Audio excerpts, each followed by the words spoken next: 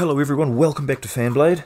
Uh, it is pickup making day. I've got to make a custom pickup for the electric upright bass. Uh, some commenters uh, very uh, correctly pointed out that when you have an extreme radius like this, what you can do uh, is simply mount a split coil pickup at a weird angle like that and uh, everything should line up. It would work perfectly. It would probably sound you know, just like a P bass, or in, in the case of my one, a fretless P bass. Nothing wrong with that. Love that sound, but I reckon this looks a bit odd. I don't. I don't particularly like it aesthetically. Um, also, it's a full moon, and I've gone a little bit mad and designed something crazy. These are sewing machine bobbins, and they are pretty much just about the right size for what I'm trying to do. Essentially, four separate coils on four strings arranged in however tight of a radius I want, which in this case is, you know, actually relatively tight.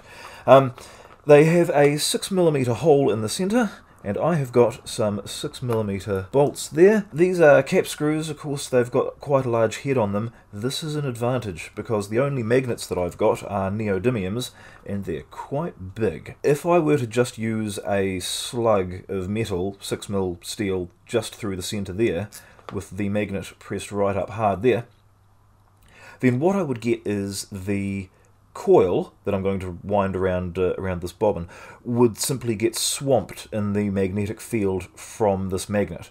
Um, and whatever the string's doing on this other side, it would have less of an effect because there's just so much force coming from uh, this magnet. But having it stood off a little bit by the cap of the screw uh, that's actually you know going to you know, help the coil read the string. In fact, to give it even more of a chance, I've just cut some little spaces uh, so that the uh, the tip of the screw is just pointing out, poking out the other side of the bobbin, and uh, the magnet is, of course, kept well away. So the magnetism is flowing through, it's coming out this side, the string's going to do things to it, and then the coil can uh, read that disturbance in the magnetic field without getting swamped by the original source of the magnetism on that side. So uh, this is probably going to work quite well. All I've got to do is make it. I haven't quite worked out what I'm doing for a housing yet. Knowing me, I'm just going to make it out of wood. The aesthetic that I'm going for is kind of uh, curved soap bar kind of kind of a design. Like I don't have to make any flat work, it's all here. Um, I can pretty much jump straight to winding these.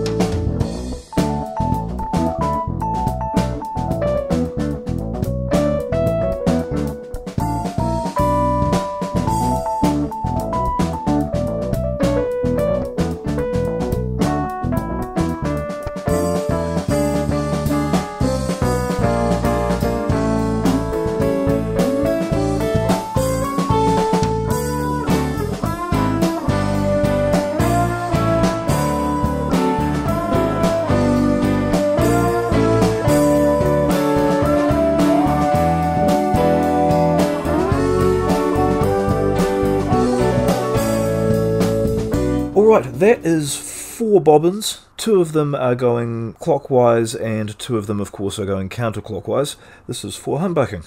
The terminals on the top uh, that I've soldered everything to, um, if you want to know more information about them, I've told you the full story in my previous pickup winding video. There is a link up in the corner of the screen up there. So, the big question I have right now is what are these reading? Because even though they're 5,000 reps each, that doesn't actually mean a heck of a lot because they're so small. The amount of copper that's in there, it's not going to give us a very high reading. 5,000 reps on a pickup like this is going to be infinitely, well, I say infinitely, no, it's going to be about four times more than 5,000 reps on one of these. So um, there's just more copper in that winding. So let's measure these and see what we've got. It's 1.06. That's a little on the light side. 1.07. Again, a little bit well, it's about the same, but um, I would have expected these to be somewhere in the region of 2 each, but no.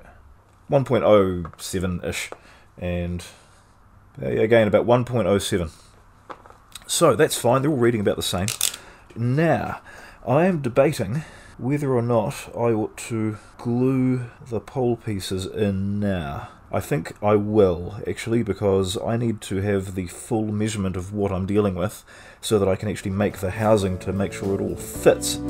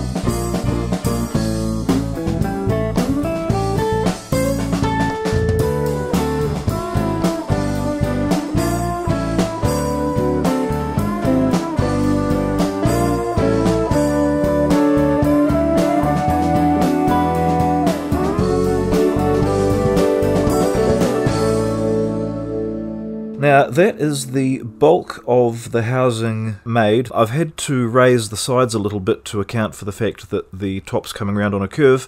Uh, I'll just very carefully sand those flush. Now, the part that I'm been grappling with is how do I make a curved top? Um, I have traditionally been very bad at bending wood. Steam bending, heat bending, it just never seems to work for me, so I'm, I'm kind of hesitant to give it a go now.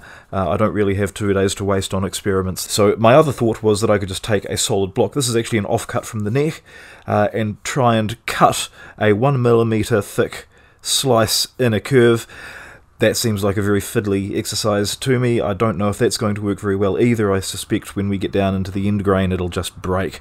Uh, that'll be no good at all. Then I remembered that a long time ago, way back in the distant past, I got some Formica. Please don't ask why it's cut to the shape of the back of a Rickenbacker. It's a very long story. Um, suffice it to say, this is very bendy, it's very, very thin, and it'll uh, a lovely little piece of this will just go straight over the top of there. It should epoxy on, no problem at all. Gluing these down inside is going to be a little bit of a mission, because I do need to actually wire them together before I put them in there. And I've got to be very precise about where they're actually located, because the pole pieces aren't actually all that large, and although I do, I do have the string positions marked on this uh, this uh, diagram, getting them onto the Formica in a way that I'm going to actually be able to see what I'm doing as I'm gluing them in, yeah, it's just going to be a little bit fiddly, but then a lot of things about this process are quite fiddly anyway. I'm getting used to it.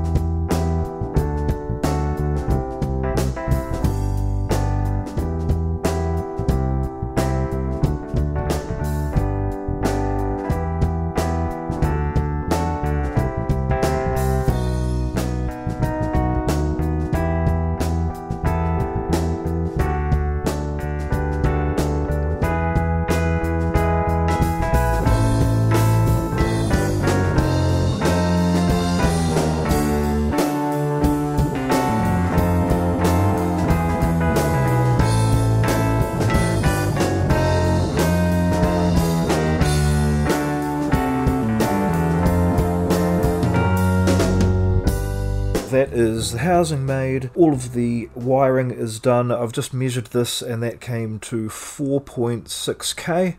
Is it 4.6 or 4.2? It's 4.2k, my apologies. Um, there is a bug in my multimeter. Get off. I'm going to set them in resin in two halves. I'm going to do a basic set for all of the coils. Then uh, once they are solidly locked down in place, that's when I'm going to put the magnets in. Because as these are going to be sitting in there, sort of bent towards, the magnets are going to pull each other, they're going to pull each other off whatever glue I've stuck in there. It's just going to be an absolute nightmare to get them to stay put. So, I'm going to set them in resin first, then stick the magnets on. And this does actually give me the chance to test out uh, my neodymium magnets versus ceramic magnets theory.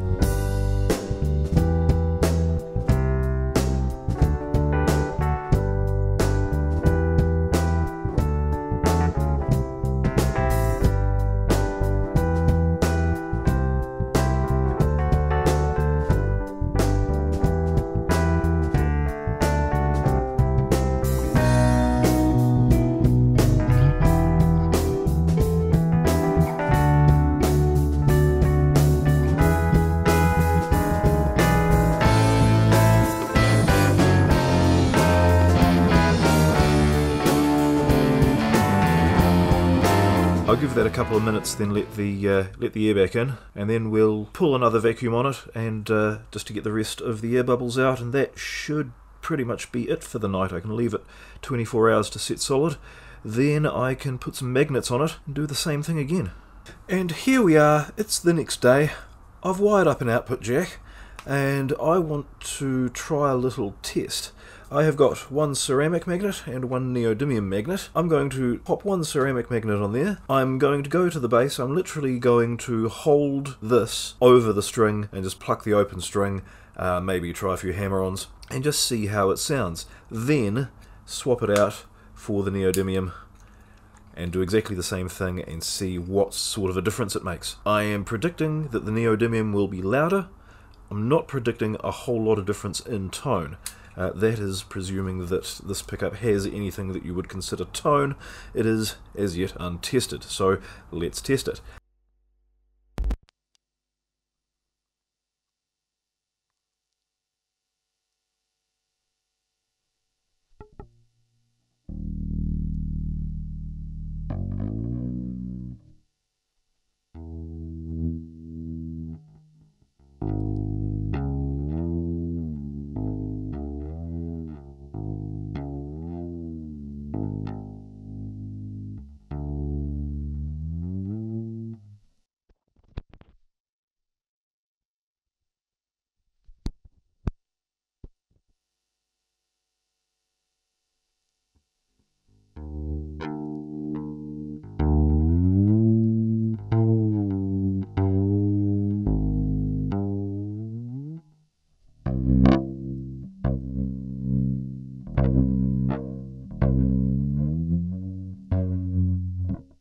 So I've gone back and had a listen to that recording in fairly minute detail. Um, there's a lot more volume coming off the Neos.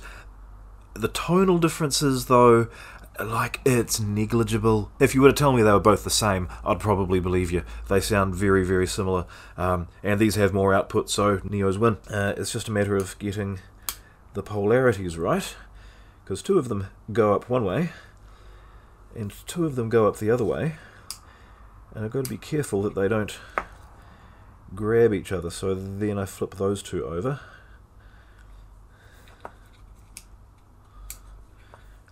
See what I mean? Those two, it's slipped off there.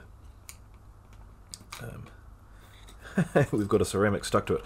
Magnets are tricky to work with sometimes. Hmm, we may have a problem. Uh, I can try chucking a spacer between them. This entire thing's about to get drenched in uh, drenched in resin anyway. There's a little piece of here's a little piece of wood. I'll cut a little uh, I'll cut a little piece and uh, we'll stick it in there. So after quite a bit of stuffing around, I now have four magnets sitting where I want them, more or less. That's as good as it's going to get. Let's pour the second lot of epoxy and just fill it all up. And I've got to be careful with it because I don't entirely trust these two outer ones not to slide in. Um, I really hope that doesn't happen.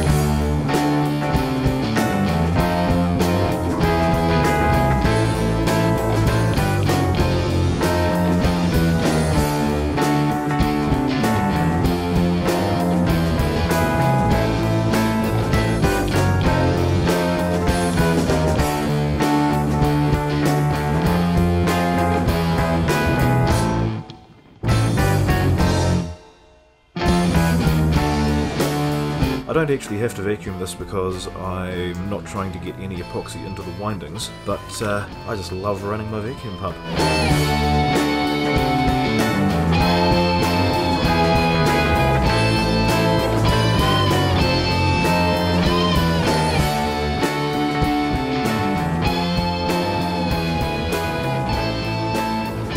And that is now ready to sit there for another 24 hours and then we can finally get on with cleaning it up and putting it on the bass. So this is the pickup. Another 24 hours later, the epoxy is fully hardened. That's nice and solid. Uh, the whole thing's ready for its final sanding and finishing. Uh, I had planned to ebonize this to make it match the fingerboard. Uh, unfortunately, I can't ebonize the top of it because that's Formica. it's not going to work. Um, so I have a Sharpie. I'm just going to colour it in black. The other thing I'm going to do is actually mask off a little area here uh, for my logo. I've done a couple of tests on this and it worked rather well.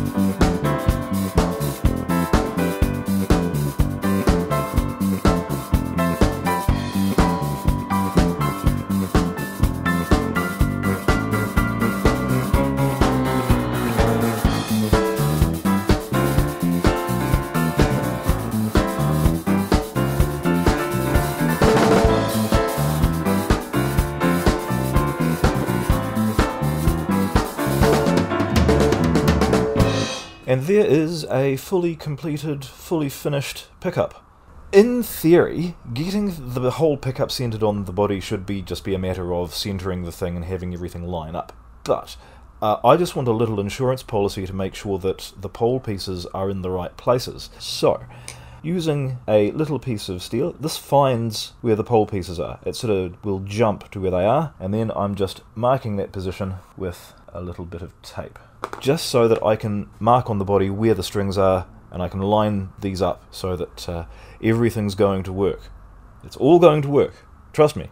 Now, regrettably, I have to take the entire thing apart again. The pickup is far too tall to just slide under the strings, uh, and of course I've got to cut a cavity for it.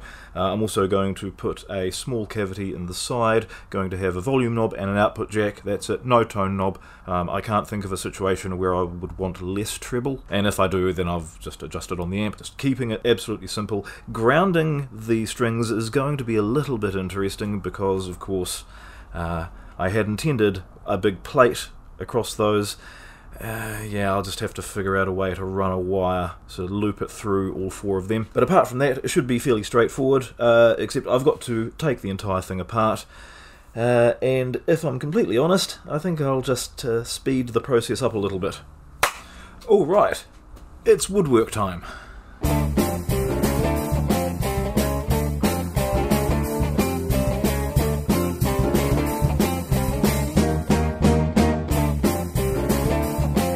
Okay, so this is kind of neat. I've just got to explain what's happening here.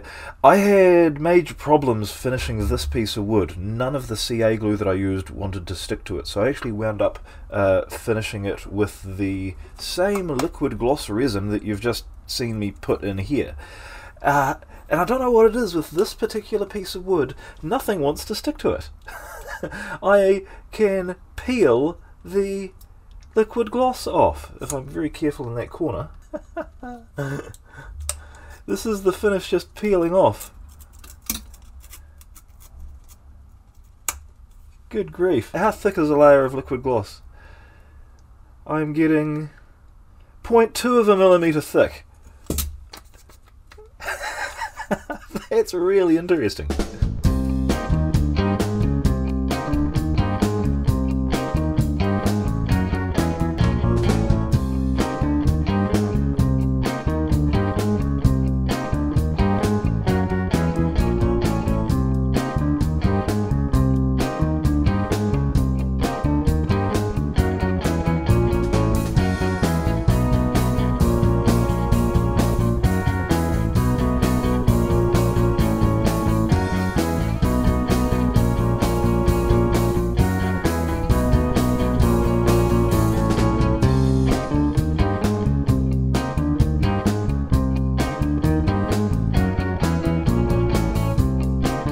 There's a pickup cavity. Obviously I've lifted a bit of the finish off the sides, that's not great, but I can wick a little bit of CA glue in under there, sort of tap it down and hopefully it'll spread out and just fill up all of that and uh, make it invisible. That's the plan at least. right, control cavity. Going in the edge, I've got a dirty great big Forstner bit, uh, and I'm just going to plough in there.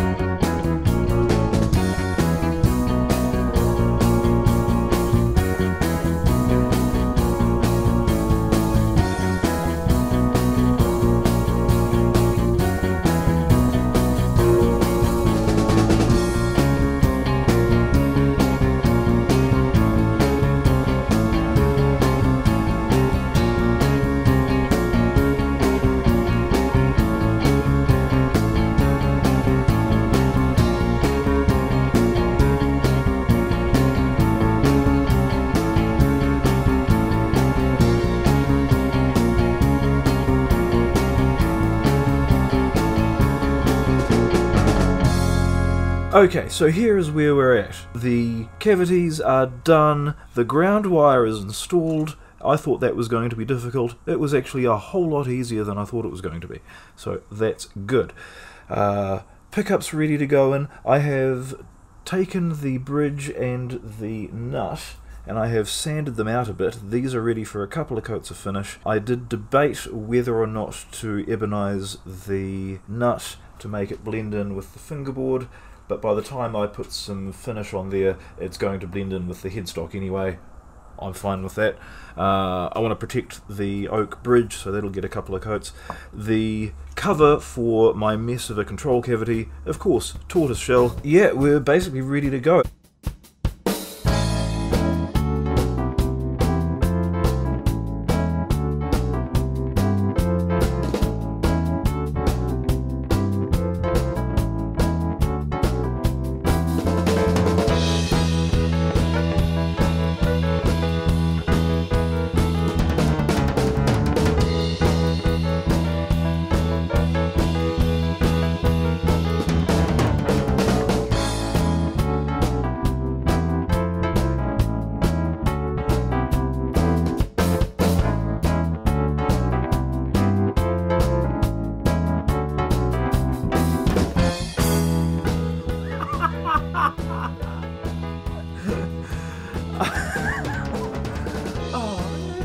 Blade instruments.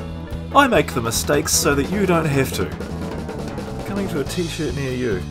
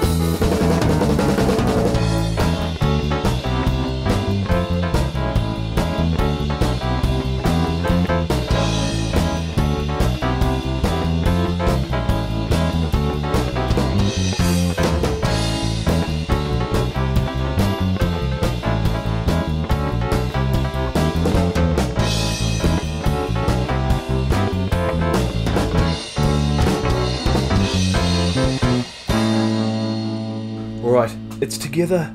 It's the moment of truth. Let's take it to the studio and see how she goes.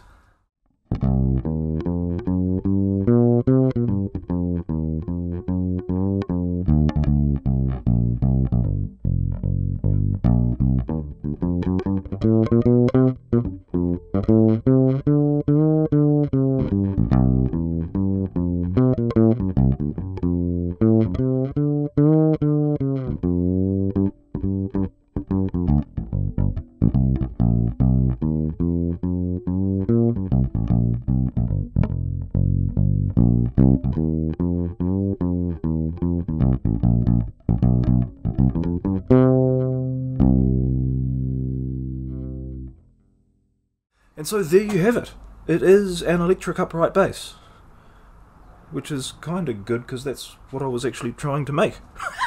it sounds like an electric bass guitar, but for my purposes of uh, learning to play this style and uh, uh, getting better at technique and getting better at intonation, because there's no there's no dot markers on this. Um, what you just heard was played entirely by ear. you can probably tell. I need to work on a lot of stuff, and that's what this instrument's going to let me do.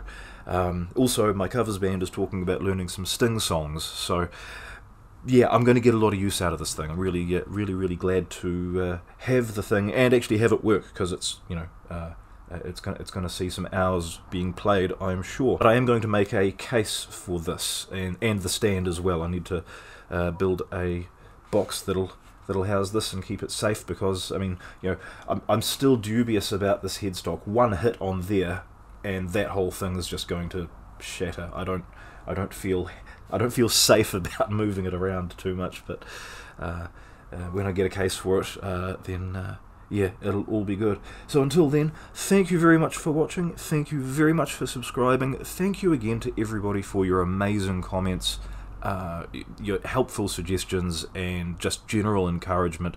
Uh, it really helps keep me motivated and teaches me a lot, and, and I couldn't be more grateful to you all for that. So thank you again for getting involved. And with that said, uh, yes, I will see you later. Cheers. Bye.